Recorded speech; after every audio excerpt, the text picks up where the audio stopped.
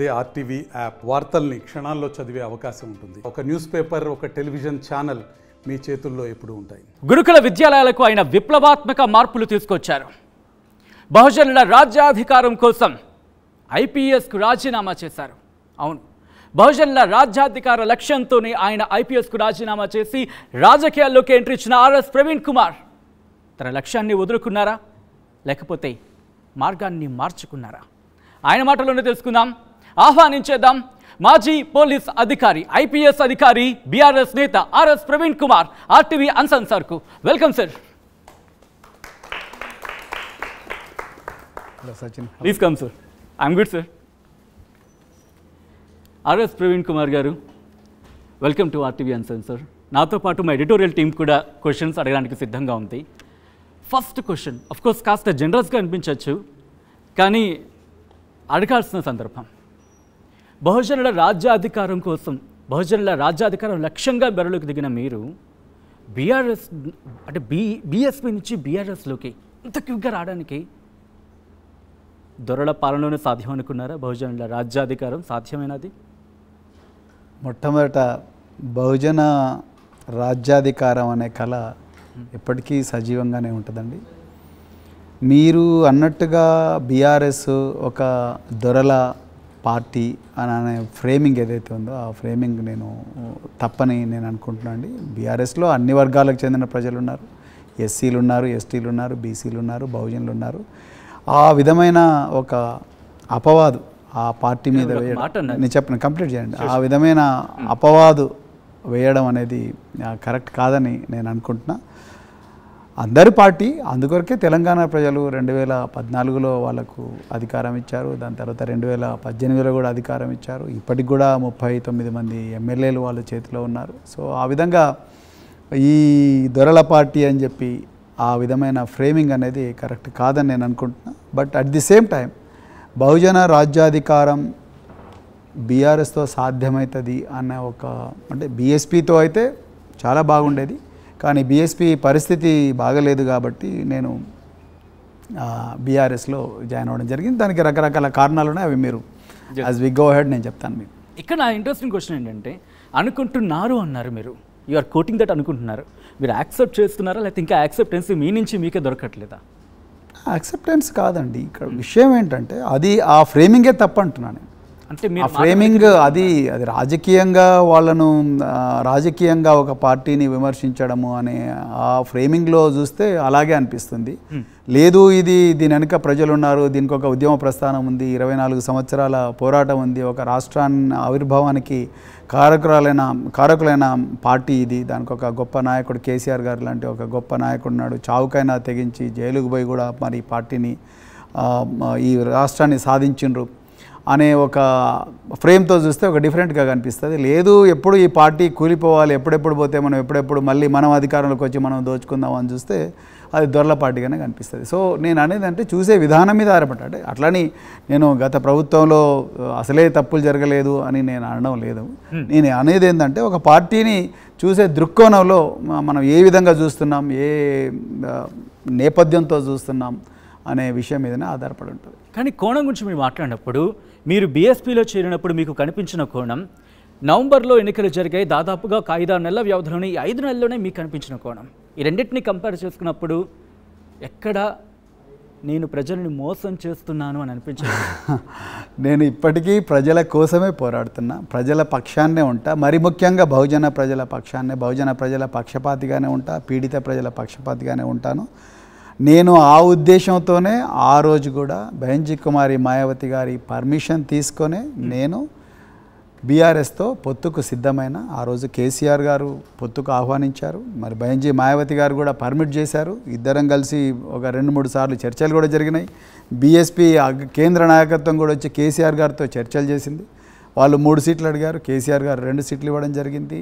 మార్చి పదిహేనో తారీఖు నాడు పత్రికా ప్రకటనలు కూడా చేయడం జరిగింది రెండు పార్టీలు. సీట్లు కూడా అలాట్ అయిపోయినాయి. మార్చి పదహారో తారీఖు నాడు మాయావతి గారు పొత్తు రద్దు చేసుకోమన్నారు.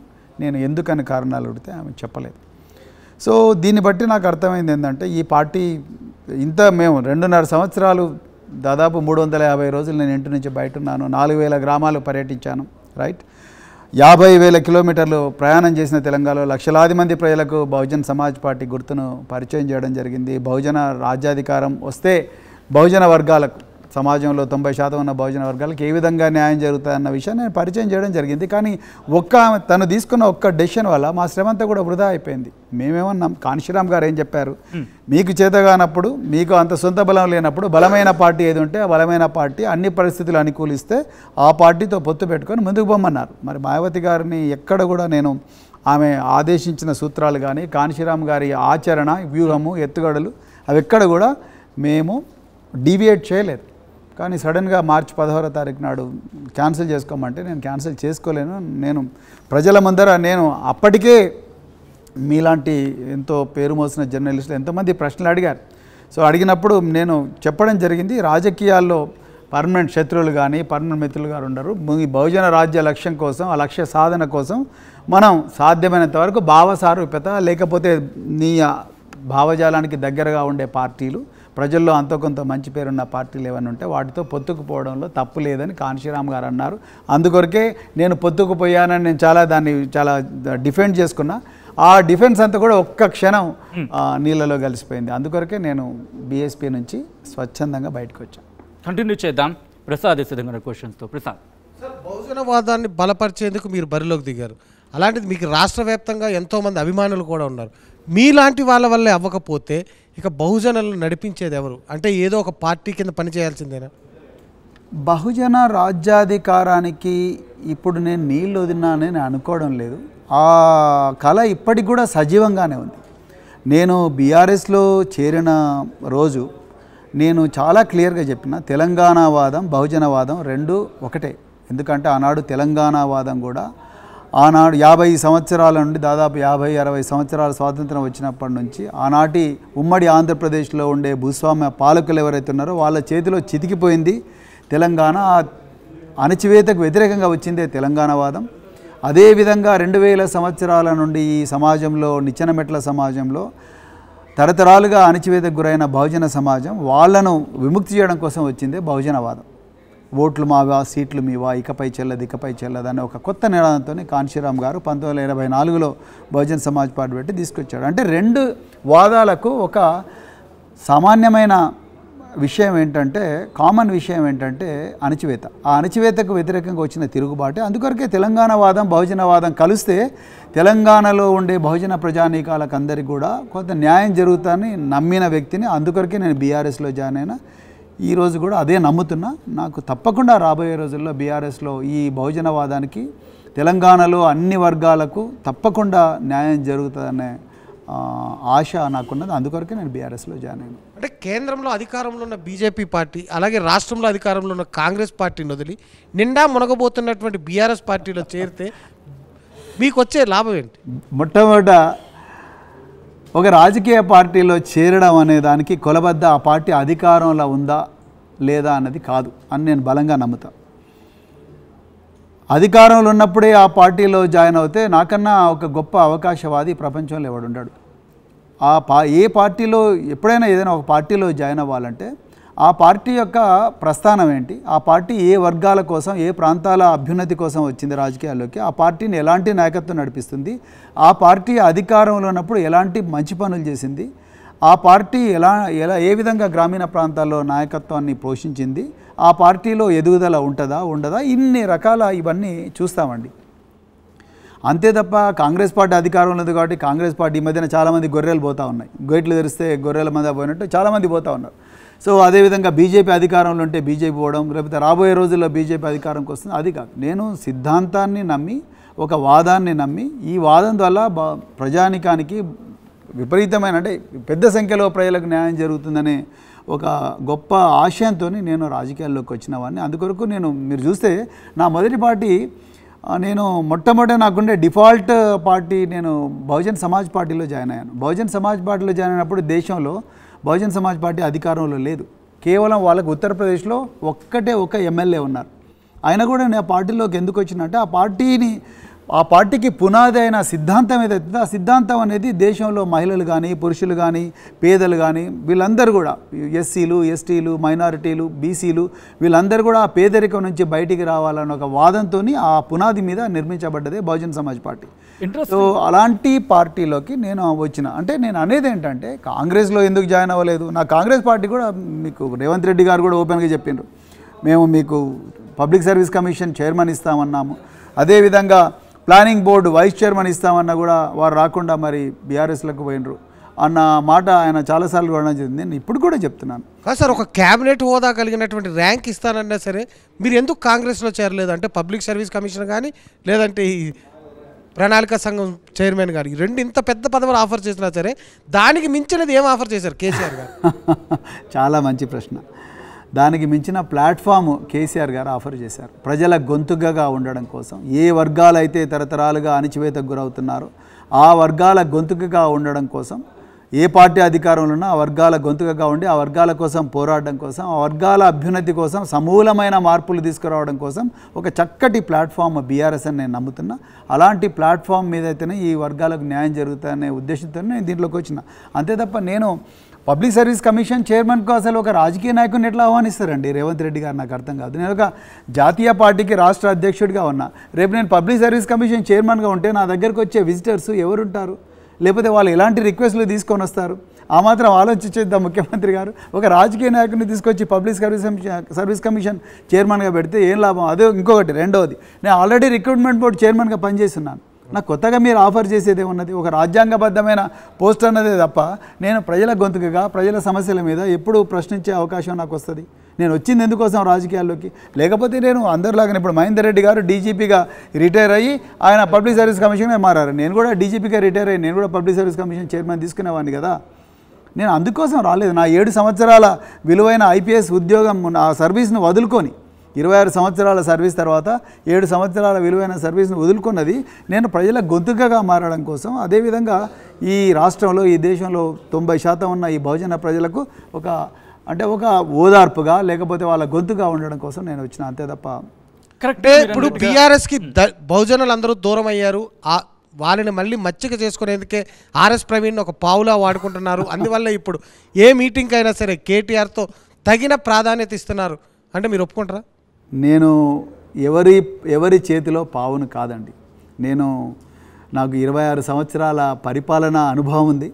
అదేవిధంగా నీ ప్రపంచంలో ఏంది రైటు ఏది రైటు ఏది తప్పు అని తెలుసుకునే విచక్షణ జ్ఞానం ఉంది. అంతే తప్ప నేను ఒకరి వేసిన చదరంగంలో పావునో లేకపోతే ఇంకో సముదనో కావడానికి నేను ఇక్కడ రాలేదు. ప్రజల గొంతుకగా కావడానికి నేను ఇక్కడ వచ్చిన. నాకు వారు ప్రాధాన్యత ఇస్తున్నారంటే వారికి హృదయపూర్వకమైన ధన్యవాదాలు. తప్పకుండా ఆ ప్రాధాన్యత లభిస్తుంది.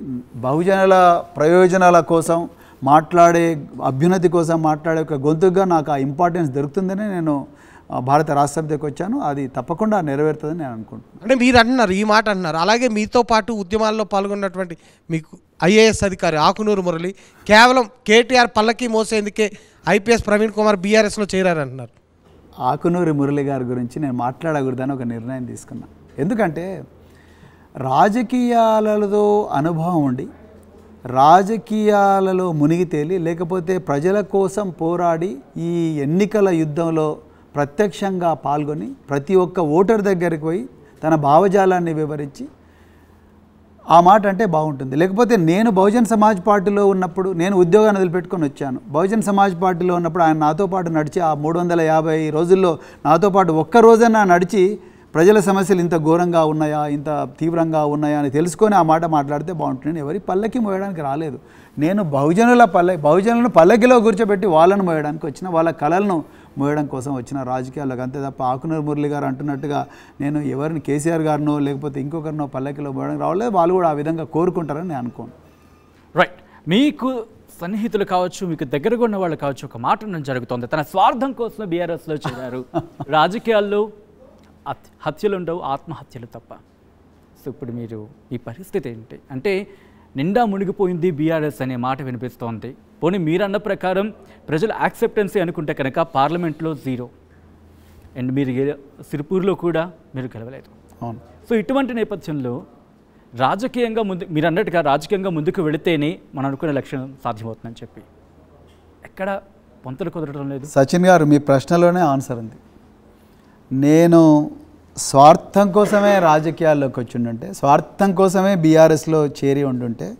స్వార్థం కోసమే ఈ పార్టీలో చేరి ఉండుంటే నేను ఇంతకుముందు మన సోదరుడు అన్నట్టుగా నేను కాంగ్రెస్లో జాయిన్ అయ్యేవాడిని నేను అధికారంలో లేని పార్టీలో జాయిన్ అవ్వలేదు.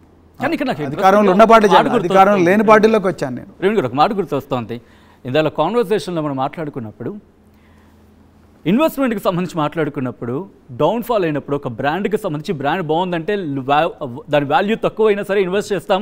లాంగ్ లాస్టింగ్లో మనకు ఉపయోగపడుతుందని చెప్పి. సో బీఆర్ఎస్లో ఆర్ఎస్ ప్రవీణ్ కుమార్ చేరడానికి కూడా ఇటువంటి ఇన్వెస్ట్మెంట్ ప్లాన్ అనుకోవాలా? మీరు అన్నది ఇన్వెస్ట్మెంట్ కంపెనీల గురించి. బీఆర్ఎస్ కంపెనీ కాదు ఒక పార్టీ ఒక రాజకీయ పార్టీ. ఇరవై ఐదు సంవత్సరాల ఉద్యమ ప్రస్థానం ఉన్న పార్టీ. ఎంతోమంది అమరవీరులు త్యాగాలు చేస్తే ఆ త్యాగాలను వృధా కాకూడదు అని చెప్పి ఆ త్యాగాలను పదిలంగా భద్రపరిచి ఆ త్యాగాల ఆ కళలు అమరవీరుల కళలు నిజమయ్యేలా దాదాపుగా ఇరవై నాలుగు సంవత్సరాలు పోరాటం చేసిన పార్టీ. దీన్ని ఒక కంపెనీగా పోల్చడం అనేది కరెక్ట్ కాదు. ఇది ఓనర్స్ ప్రజలే. కంపెనీ అని కాదు జస్ట్ అక్కడ కంపారిజన్ మీకు చూపించే ప్రయత్నం తప్ప కంపెనీ అక్కడ ఉద్దేశం నేను నేను సచిన్ గారు నేను మళ్ళీ చెప్తున్నాను. నేనేదో నా మార్కెట్లో నా వాల్యూ పెరగాలనో నాకేదో పదవులు రావాలనో లేకపోతే ఇంకేదో చేయాలనో నేను ఈ పార్టీలోకి చేరలేదు. నేను రాత్రి నిద్రపోయే ముందు ఒక సాటిస్ఫాక్షన్తో నిద్రపోవాలి. పది మంది ప్రజలకు వాళ్ళ గొంతుకగా మారినప్పుడు వీళ్ళ సమస్యలు ఎవరు పట్టించుకోవడం లేదు ఆ సమస్యలు నేనన్నా పట్టించుకుంటున్నానన్న సాటిస్ఫాక్షన్ నీకు దొరకాలి.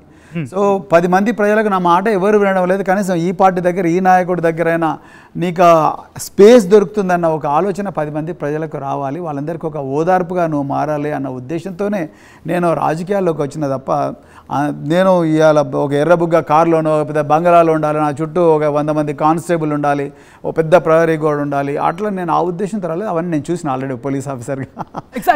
నాకు అవన్నీ అవసరం లేదు. ఎందుకంటే నేను పోలీస్ ఆఫీసర్గా అవన్నీ చూసిన. ఈరోజు చాలామంది మినిస్టర్లకు చాలామంది ఎమ్మెల్యేలకు ఎక్స్ఎమ్మెల్యేలకు వాళ్ళకు లేనంత భద్రత భారత ప్రభుత్వం రాష్ట్ర ప్రభుత్వాలు నాకు కల్పించినాయి ఒక ఆఫీసర్గా. నేను అదేదో ఆ అంగు ఆర్భాటాల కోసం రాలేదు. తొంభై శాతం మంది ప్రజలు తరతరాలుగా పీడనకు గురైనరు వేదనకు గురైనరు కాబట్టి వాళ్ళ గొంతుకగా కావాలని వచ్చిన ఇక్కడ ఇక్కడ మరో ప్రశ్న నాకు తలెత్తుతోంది ప్రవీణ్ గారు. మీరు అన్నారు నేను పరిపాలన చేస్తున్నాను పరిపాలన చూస్తున్నాను అని చెప్పి ఒక మంచి అడ్మినిస్ట్రేషన్ ఇచ్చారంటున్నారు. సో మీ అధ్యక్షతన బీఎస్పీ లాంటి ఒక పార్టీ తెలంగాణలో కనీసం అంటే మనుగడ లేదు అనుకున్న స్థాయి నుంచి ఒక హైప్ అయితే క్రియేట్ వచ్చింది అవును. సో అక్కడి నుంచి అంటే మీరు ఏం చెప్తే అది చేయగలరు ఇంప్లిమెంట్ చేయగలరు పార్టీ నుంచి ఎవరైనా చెబితే అది మీరు ఇంప్లిమెంట్ చేయాలి. ఇది మీకు ఇబ్బంది కాదా?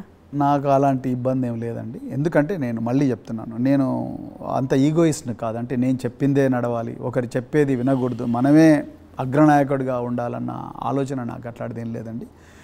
నేను మళ్ళీ రిపీట్ చేస్తున్నా. నేను ఆ రోజు బహుజన్ సమాజ్ పార్టీలో తెలంగాణ రాష్ట్ర అధ్యక్షుడుగున్న మాయావతి గారి ఆదేశాల ప్రకారమే పనిచేశాం ప్రజల ఆకాంక్షల మేరకే పనిచేశాం. ఇలా కేసీఆర్ గారి నాయకత్వంలో నేను బహుజన్ సమాజ్ పార్టీకి రాష్ట్ర అధ్యక్షుడిగా పనిచేసి ఇలా మీరు అనేది ఏంటంటే కింది ఆర్డర్లు ఇచ్చిన మీరు ఇవాళ కేసీఆర్ గారు మీకు స్పేస్ ఇస్తేనే పనిచేసే పార్టీలోకి మీరు వచ్చారని అంటున్నారు. నాకు అట్లాంటి what I mean to say like ఇప్పుడు పార్టీ గైడ్ చేస్తే ఆ గైడెన్స్లోనే వెళ్ళాలి తప్ప వాడు ఓన్ వర్షన్ తీసుకుని వెళ్ళే ప్రసక్తి కొన్ని సందర్భాల్లో ఉండదు. అఫ్ కోర్స్ మనకు ఉన్నప్పటికీ కూడా. సో అటువంటి ఇస్తున్నాడు పార్టీకి సంబంధించి కట్టుబడి నడుచుకోవాల్సి ఉంటుంది. ఏ పార్టీ అయినా అంతే? బహుజన్ సమాజ్ పార్టీ అయినా ఆ పార్టీ విధి విధానాలు కట్టుబడి నడుచుకోవాలి. నేను రాష్ట్ర అధ్యక్షునైనా కేంద్ర ప్రభుత్వం కేంద్ర పార్టీ ఏ నిర్ణయాలు తీసుకుంటే ఆ నిర్ణయాలు కట్టుబడి నడవాలి. తర్వాత పార్టీ తెలంగాణలో కేసీఆర్ గారు పొలిట్ బ్యూరో ఏ నిర్ణయం తీసుకుంటే ఆ నిర్ణయానికి కట్టుబడే పార్టీలో ఉండే అందరు నాయకులు ముందరికి నడవాలి. అంతే తప్ప పార్టీ ఆనాడు మీకు ఒక ఉదాహరణ చెప్తాను. మరి బీఆర్ఎస్ బీఎస్పీ రెండు పొత్తు అయినప్పుడు కేసీఆర్ గారు వాళ్ళ క్యాడర్ అందరికీ చెప్పారు. చాలామంది నుంచి అపోజిషన్ వచ్చింది. మళ్ళీ బీఎస్పీతో పొత్తు ఎందుకు? సో మనం బీఆర్ఎస్ఏ పోటీ చేద్దామంటే కేసీఆర్ గారిని ఇది పార్టీ యొక్క నిర్ణయం. మీరందరూ కూడా దీన్ని ఫాలో కావాల్సిందే అని వారు చెప్పడం జరిగింది. వాళ్ళందరూ ఒప్పుకున్నారు.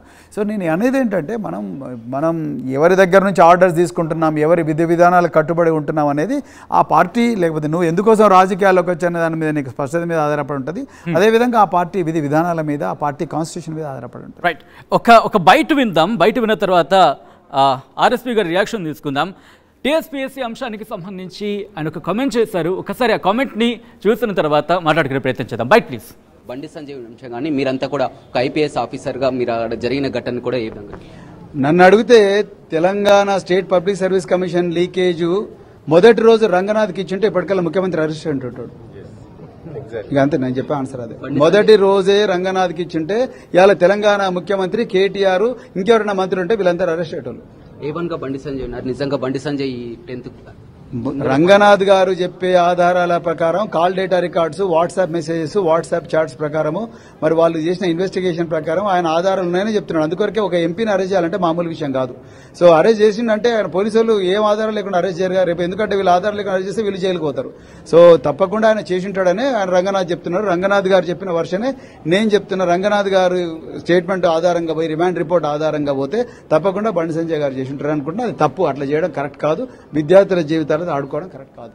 మన ప్రవీణ్ గారు మీ రియాక్షన్ నేను మళ్ళీ చెప్తున్నాను కదా పోలీస్ ఇన్వెస్టిగేషన్ వాళ్ళు తప్పకుండా అంటే నేను ఇన్వెస్టిగేషన్లో నేను ఆ రోజు కూడా చెప్పిన ఈ రోజు కూడా చెప్తున్నా ఇన్వెస్టిగేషన్ పర్ఫెక్ట్గా జరగాలి. దోషులు ఎవరైతే వాళ్ళను తప్పకుండా పట్టుకోవాలని చెప్పిన నేను. ఆ రోజు చెప్తున్నా ఈ రోజు చెప్తున్నా. ఆ రోజు ప్రవీణ్ కుమార్ చేసిన పోరాటమే న్యాయబద్ధంగా సాక్ష్యాలతో సహా ప్రవీణ్ కుమార్ ఆ రోజు పోరాటం చేసిండు నేను ఒక వ్యక్తి మీదనో లేకపోతే ఒక పార్టీ మీదనో నేను మాట్లాడలేదు. ఆ రోజు కూడా చెప్పిన చాలామంది మీలాంటి వాళ్ళు చాలామంది కూడా ఈ ప్రశ్న ఇస్తున్నారు ఆ రోజు మీరు కేసీఆర్ మీద ఆ విధంగా అన్నారు ఈ విధంగా అన్నారంటే నేను ఆ రోజు కూడా చెప్తున్నాను నేను ఆ రోజు నిరుద్యోగుల పక్షాన్ని నిలబడదాం అనుకున్నాను ఎందుకంటే మరి ఒక్కొక్క పేపరు పది లక్షల నుంచి కోటి రూపాయలకు అమ్ముడు పోయింది.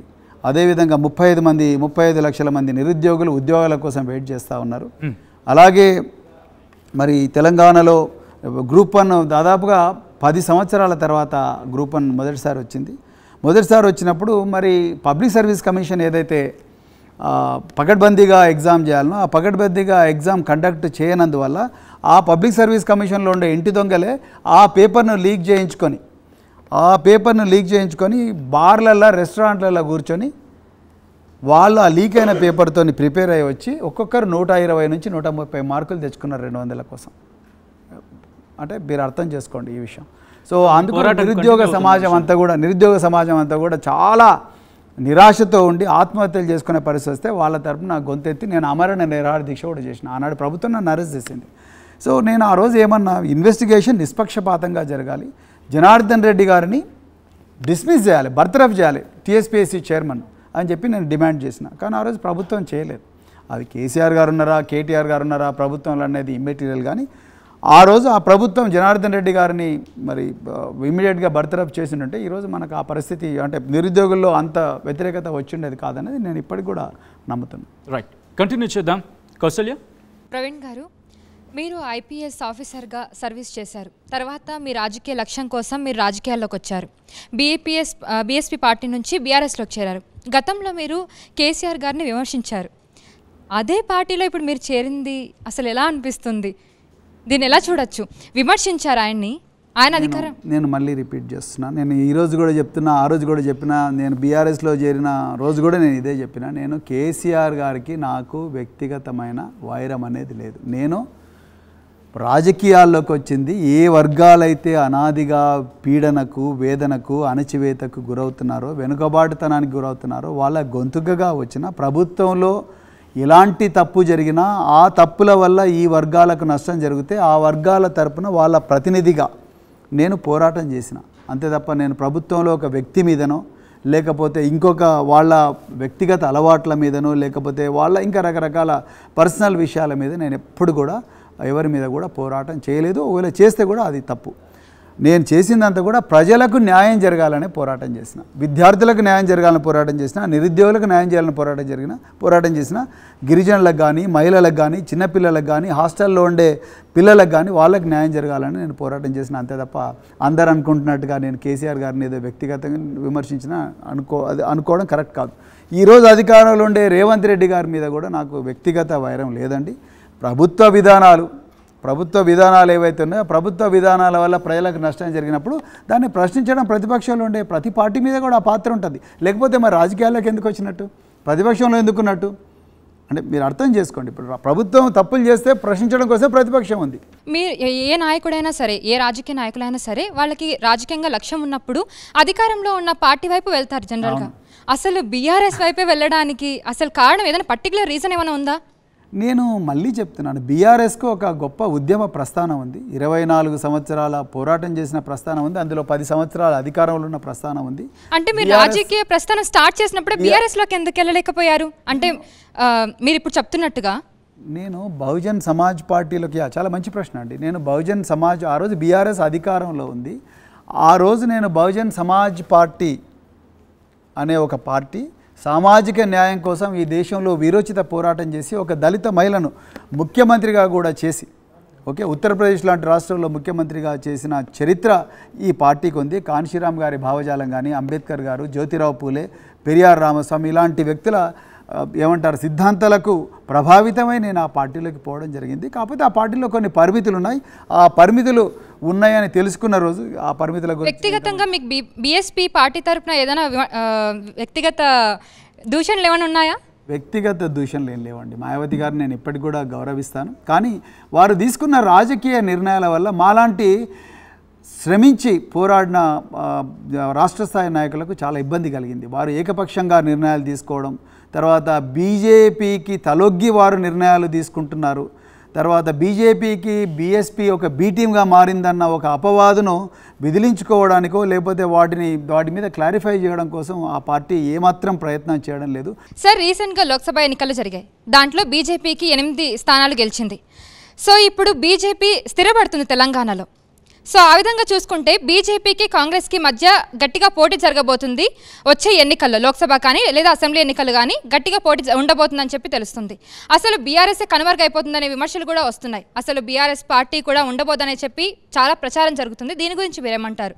ఎందుకంటే మీరు అదే పార్టీలో రీసెంట్గా చేరారు కాబట్టి. కేవలం రాజకీయ పరిజ్ఞానం లేని వాళ్ళు మాత్రమే ఇలాంటి యూనో విమర్శ తీసుకొస్తారండి. ఎందుకు నేను ఈ మాట చెప్తున్నానంటే బీఆర్ఎస్ కనుమరు కనుమరుగవడం అనేది అసాధ్యం. ఇరవై ఐదు సంవత్సరాల పోరాటం దా తద్వారా వచ్చిన అధికారం అధికారంలో తెలంగాణ అనే ఒక రాష్ట్రానికి కొత్త రాష్ట్రానికి ఒక బలమైన పునాది వేయడం ఈ లక్షలాది మందిని తన పోరాటం వల్ల ప్రభావితం చేయడం ఎన్నో తరాలు ఈ పోరాటం వల్ల పెరగడం అంటే ప్రభావితం కావడం ఇంత గొప్ప ప్రస్థానం ఉన్న పార్టీ ఈ ఒక్క పార్లమెంట్ ఎలక్షన్లలో సీట్లు రానంత మాత్రాన కనుమరుగు అవుతాం అనుకోవడం రాజకీయాల మీద స్పష్టమైన అవగాహన లేని వాళ్ళు మాత్రం కానీ ప్రవీణ్ గారు మీరు అసాధ్యం అన్నారు. కానీ ప్రజలు సుసాధ్యం చూసి చూపించారు కదా. పార్లమెంట్లో ఒక్క సీటు కూడా మీకు అది రాలేదు రాజకీయాల్లో ఒకప్పుడు బీజేపీకి కేంద్రంలో ఇందిరాగాంధీ చనిపోయిన తర్వాత పంతొమ్మిది వందల ఎనభై నాలుగులో వచ్చిన ఎన్నికల్లో బీజేపీకి కేవలం రెండు సీట్లు వచ్చాయి దేశంలో. రెండు సీట్లు వచ్చినాయి దేశంలో. సో అంత మాత్రాన మా బీజేపీ కనుమరుగు అవుతాను అనగలమా మనం. మరి అలా అధికారంలో వచ్చిన వాళ్ళు. సో అంటే రాజకీయాల్లో ఇవన్నీ కామన్ అండి. అంత ఇది మహాప్రస్థానంలో ఇదొక చిన్న ఒక మైలురాయి. అంతే తప్ప ఇదొక మజిలీ. సో దానివల్ల మనం ఏదో దీనివల్లనే అంత అయిపోయింది బీఆర్ఎస్ ముప్పై తొమ్మిది మంది ఎమ్మెల్యేలు ఉన్నారు ఎంతోమంది వేలాది మంది సర్పంచులు ఇప్పటికి కూడా బీఆర్ఎస్ వాళ్ళు మొన్న వాళ్ళు వాళ్ళ పదవీ కాలం అయిపోయింది తప్ప ఇప్పటికి కూడా వేలాది మంది ఎంపీటీసీలు జడ్పీటీ వేలాది మంది వందలాది మంది జడ్పీటీసీలు ఇప్పటికి కూడా బీఆర్ఎస్ వాళ్ళే ఉన్నారు. మున్సిపల్ కార్పొరేషన్ చైర్మన్లు బీఆర్ఎస్ వాళ్ళే ఉన్నారు ఇప్పటికి కూడా. సో ఎక్కడ మీరు బీఆర్ఎస్ కనుమరం అవుతుంది అంటున్నారు ఇది కేవలం అయితే మాత్రం ఇంకా సాధ్యం కాదంటున్నారు. బీజేపీ ఎదుగుదలకు మాత్రం జరగకపోవచ్చు అంటున్నారు. బీజేపీ తెలంగాణలో ఎదగనివ్వం. మేము అడ్డుకుంటాం అడ్డుకుంటాం. ఎందుకు ఎందుకు చెప్తున్నా అంటే తెలంగాణ తెలంగాణ ఏర్పాటు ఎన్నడూ కూడా కోరుకోని పార్టీ అంటే మనస్ఫూర్తిగా కోరుకోని పార్టీ బీజేపీ కాంగ్రెస్లు. అదేవిధంగా అదేవిధంగా బీజేపీ వస్తే ఈ రాష్ట్రం అల్లకల్లోలం అవుతుంది. మత సామరస్యం అనేది పోతుంది. అదేవిధంగా ఈ ప్రాంతం అంతా కూడా మరొక్కసారి దోపిడీకి గురవుతుంది. ఇక్కడ ఇంకా కొంతమందిని పెట్టి ఇక్కడ నుంచి మొత్తం కూడా ఇక్కడ ఉండే సంపద అంతా కూడా గుజరాత్కు తీసుకుపోవడం కోసమో ఇంకో దగ్గరికి తీసుకుపోవడం కోసం అద్భుతమైన ప్లాన్ వేసి కేవలం ఒక తోలు బొమ్మని ఇక్కడ పెట్టి అక్కడ నుంచి మొత్తం కూడా సంపద తీసుకుపోయే ప్రమాదం జరుగుతుంది. అందుకొరకే బీజేపీ వల్ల ఈ రాష్ట్రానికి పూర్తిగా బీజేపీ కాంగ్రెస్ రెండు జాతీయ పార్టీల వల్ల తెలంగాణ ప్రయోజనాలు ఏ మాత్రం కూడా బాగుపడవు. మీరు చూడండి డేటా తీయండి. గత యాభై రెండు సంవత్సరాల కాంగ్రెస్ పాలనలో తెలంగాణ డెవలప్ అయిందా? లేకపోతే పది సంవత్సరాల కేసీఆర్ గారి పాలనలో తెలంగాణ డెవలప్ అయిందా? మీరు డేటా తీయండి మీకు ఈజీగా అర్థమైపోతుంది. కానీ ఇక్కడ నా క్వశ్చన్ ఏంటంటే మీరన్నట్టుగా ఓకే సో సినారియో సంబంధించి ఇక్కడ మాట్లాడుకున్నప్పుడు కానీ గతంలో ప్రధానిగా ఆఫ్ కోర్స్ ప్రధాని మోదీ వచ్చిన సందర్భంలో బీఆర్ఎస్ అధినేత కేసీఆర్ నా దగ్గరకు వచ్చారు సఖ్యతగా మాట్లాడారు. పార్టీకి సంబంధించిన అంశాలను ప్రస్తావించారు. కొడుకును ముఖ్యమంత్రికి అంశం అంటూ కేటీఆర్ అంశాన్ని ప్రస్తావించారు. సో ఇటువంటి సినారియో ఎందుకంటే వాళ్ళకి ఇప్పుడు మెజారిటీ అంతగా లేదు. సో బీఆర్ఎస్ కనుక సపోర్ట్ ఇస్తానంటే ఆర్ఎస్ ప్రవీణ్ కుమార్ బీఆర్ఎస్ బీఆర్ఎస్లో కంటిన్యూ అవుతారా? నేను బీఆర్ఎస్ పార్టీ విధి విధానాలకు కట్టుబడి ఉన్నానండి. మా అగ్రనాయకత్వం ఏ నిర్ణయం తీసుకున్నా ఆ నిర్ణయాన్ని కట్టుబడి ఉంటేనే నేను పార్టీ కార్యకర్తను. కానీ నాకుండే అవగాహన మేరకు నాకుండే జ్ఞానం మేరకు ఇప్పుడున్న ప్రస్తుత రాజకీయ పరిస్థితిలో కానీ ముందు ముందు వచ్చే రాజకీయ పరిస్థితుల్లో కానీ కేసీఆర్ గారు లౌకికత్వాన్నే కాపాడతారు. లౌకికత్వాన్ని కాపాడతారు. రాజ్యాంగ విలువలనే కాపాడతారు. Justice liberty equality and fraternity స్వేచ్ఛ సమన్యాయం సౌభ్రాతృత్వం స్వాతంత్రం వీటినే కాపాడతారు తప్ప ఈ ఏమంటారు? నాలుగు వందల సీట్లు ఇవ్వండి. మేము దేశాన్ని వెయ్యి సంవత్సరాలు సమూలంగా మార్చేస్తాం. రాజ్యాంగాన్ని మార్చి కొత్త రాజ్యాంగం తీసుకొస్తాం. అదేవిధంగా ముస్లింలను తర్వాత క్రిస్టియన్లను అందరినీ కూడా ఈ దేశంలో రెండవ శ్రేణి సిటిజన్స్గా మారుస్తాం అన్న ఏదైతే ఒక ఫ్యాసిస్ట్ భావజాలం ఉందో ఆ భావజాలం వైపు కేసీఆర్ గారు పోరు అనేది నా ప్రగాఢమైన నమ్మకం. అది తప్పకుండా అలా జరుగుతానైతే నేను అనుకోవడం లేదు. రైట్ ఒకసారి రాజ్యాంగం గురించి ప్రస్తావించారు కాబట్టి ఒకసారి రాజ్యాంగాన్ని ఉద్దేశించి గతంలో మీరు నా వ్యాఖ్యలకు సంబంధించి ఒకసారి చూసే ప్రయత్నం చేద్దాం. ఆ తర్వాత మళ్ళీ మీ రియాక్షన్కి వస్తాను. ఒకసారి బైట్ ప్లీజ్. ఉపయోగించుకుంటున్నందుకు రాజ్యాంగం మీకు అడ్డొస్తుందని చెప్పి మీరు రాజ్యాంగాన్ని వద్దంటున్నారా? ఈరోజు తెలంగాణ ప్రజలకు వివరించాల్సిన అవసరం ఉన్నది. మీ కళ్ళ కిందనే మీరు ఏ నీటి పారుదల శాఖకు మంత్రిగా ఉన్నారో ఆ నీటి పారుదల శాఖలోనే ఒక ఐఏఎస్ ఆఫీసర్ తన ఇంట్లో జరిగిన వివాహానికి ఒక contractor mega engineering infrastructures limited అనే కాంట్రాక్టర్ ఏకంగా యాభై లక్షల రూపాయల ఇంట్లో ఉండే ఒక కార్యక్రమానికి ఇస్తున్నాడంటే మరి కాళేశ్వరంలో ఎన్నో ప్యాకేజీలు దక్కించుకున్న ఈ క- సంస్థ ఒక ఐఏఎస్ ఆఫీసర్ ఇంట్లో ఒక జరిగిన మీ మీ ఏ నీటిపారుదల శాఖ ఉందో ఆ నీటిపారుదల శాఖలో లక్షల కోట్ల రూపాయల కాంట్రాక్ట్లు నా నీటిపారుదల శాఖలో ఉన్న ఒక ఆఫీసర్ ఇంట్లో ఒక కార్యక్రమానికి ఆ కంపెనీలు స్పాన్సర్ చేస్తున్నాయంటే ఈ విషయాలు దేశ ప్రజలకు తెలియకూడదనా? మీరు రాజ్యాంగాన్ని మరి రద్దు చేయమంటున్నారు. మీరు ఎన్నో రహస్యంగా జీవోలు తీసి పత్రికలకు కూడా తెలియకుండా మూడో కంటికి తెలియకుండా జీవోలు రహస్యంగా తీసి ఆ జీవోలు బయటి ప్రపంచానికి తెలియకుండా ఉండడానికి కోసం ఈ రాజ్యాంగం అడ్డం వస్తుందనా మీరు రాజ్యాంగాన్ని తీసేయమంటున్నారు. రైట్ ప్రవీణ్ గారు గతంలో రాజ్యాంగానికి సంబంధించి సో మీరు చేసిన కమెంట్స్ ఇప్పుడు ఇదే స్టాండ్ ఉంటుందా మారుతుందా ప్రవీణ్ గారిది? నేను ఇప్పటికీ రాజ్యాంగ రక్షణ కోసం కట్టుబడి ఉన్నానండి. ఆ రోజు ఫిబ్రవరి రెండో తారీఖు నాడు అనుకుంటా కేసీఆర్ గారు రాజ్యాంగాన్ని మార్చాలి. బాబాసాహెబ్ అంబేద్కర్ గారే ఈ రాజ్యాంగం ఒకవేళ ఈ దేశ ప్రజలకు న్యాయం చేయకపోతే దీన్ని కాల్చడంలో నేనే ముందరుంటానని చెప్పి బాబాసాహెబ్ అంబేద్కర్ గారు చట్టసభల్లో అన్న మాటను ఉటంకిస్తూ వారు చెప్పడం జరిగింది. దాని తర్వాత మేమందరం కూడా మరి నేను అప్పుడు బీఎస్పీలో ఉన్నాను. బీఎస్పీ నాయకత్వం అంతా కూడా పోయి ట్యాంక్ బండ్లో బాబాసాహెబ్ అంబేద్కర్ గారి విగ్రహం దగ్గర ఆనాడు కేసీఆర్ గారు చేసిన వ్యాఖ్యల మీద మేము మా నిరసన కూడా తెలపడం జరిగింది.